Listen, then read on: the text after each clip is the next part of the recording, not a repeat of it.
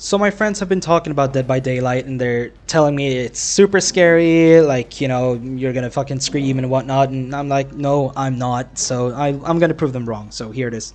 Ah! Ah! Oh, emotional. Ah! Oh! Spring, spring, spring, spring, spring! Spring, spring, spring! Ja, ja. Jävlar i helvete!